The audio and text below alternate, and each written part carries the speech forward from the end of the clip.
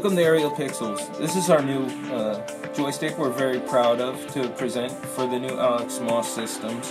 Um, this unit here, all aluminum housing, black anodized finished for extreme rugged durability.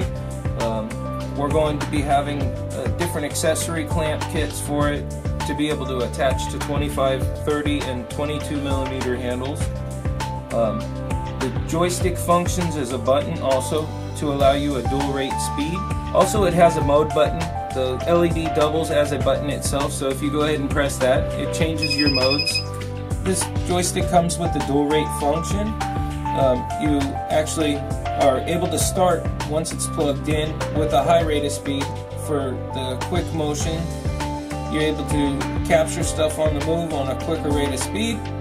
Um, then you go ahead and you double click, two clicks, and it allows you to only be traveling half the speed with the same stroke, full entire stroke. Not only can this joystick go through five different profile settings, you can also attach through the three button press uh, three additional RC commands. This button being five profiles and with the three press you're able to control three other RC command functions.